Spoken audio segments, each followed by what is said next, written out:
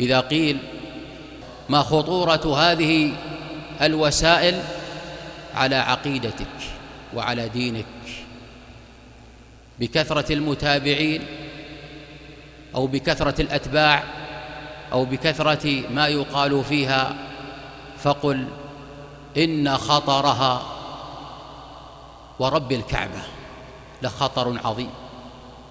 كيف؟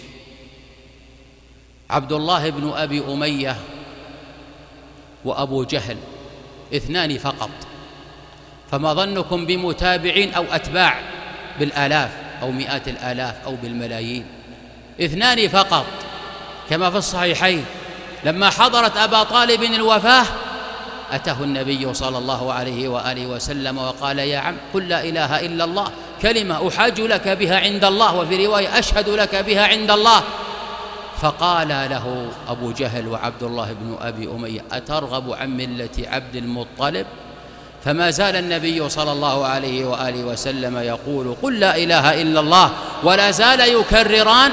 فكان آخر ما قال هو على ملة عبد المطلب. إذا أبى أن يقول لا إله إلا الله. خطورة من؟ خطورة اثنين. خطورة اثنين.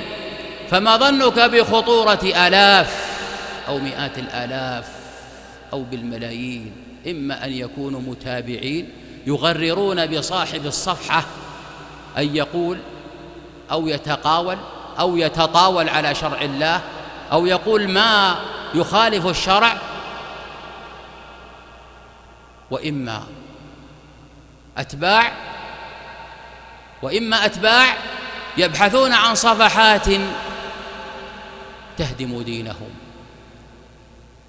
ما سمعنا بتلك الكثرة من الإلحاد في شرع الله يلحد في شرع الله في وسائل التواصل.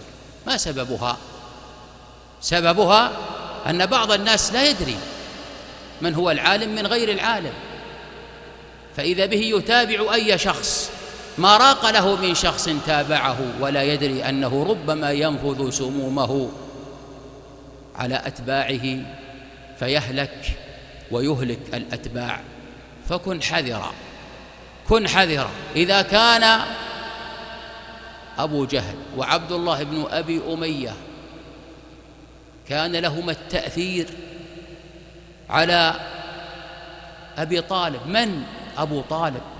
عم النبي صلى الله عليه وآله وسلم الذي كان يناصره. ولذلك عند مسلم ماذا قال؟ أبو طالب. انظر إلى تأثير كلام الصحبة والأتباع. قال والله لولا أن تقول قريش ما قلتها إلا جزع الموت وفي رواية خرع الموت لأقررت بها عينك. يعني فيصل بين الجنة وبين النار. ضاع دينه فضاعت دنياه وضاعت أخراه إلا أن الله عز وجل جعلها خاصة لنبيه صلى الله عليه وآله وسلم فيخفف عن أبي طالب النار إذ هو في الدرك الأسفل من النار وإذا به يوضع في ضحضاح من نار يبلغ كعبيه يغلي منه دماغه. انظر رعاك الله فتنبه. الدنيا هذه ساعات وأيام إياك وإياك أحذرك. أن تحب أو أن تدافع عن شخص يطعن في دين الله أو يلمز في دين الله أو يلعب في دين الله. فانتبه فإن المحبة إذا وقعت في قلبك لهؤلاء فهي بوابة للاقتناع بكلامهم. ثم العمل بكلامهم. بعض الناس يقول أنا غير مقتنع بكلام هذا الرجل ولكن أنا أدافع عنه حتى لا يتكلم فيه فانتبه رعاك الله. أبغضهم في الله على قدر ما فعلوا مما يغضب الله في شرع الله. أسأل الله لي ولكم الثبات حتى الممات. والله إننا لفي فتن في هذا الزمن ما ندري فتن من جميع الجهات من حيث الأشكال والأنواع ولكن ما على المسلم إلا أن يقول يا مقلب القلوب ثبت قلبي على دينك ولا يأمن أحد على نفسه. لا يأمن أحد على نفسه. تعلق بالله أكثر من دعاء الله التجئ إلى الله. وما هو الوصول؟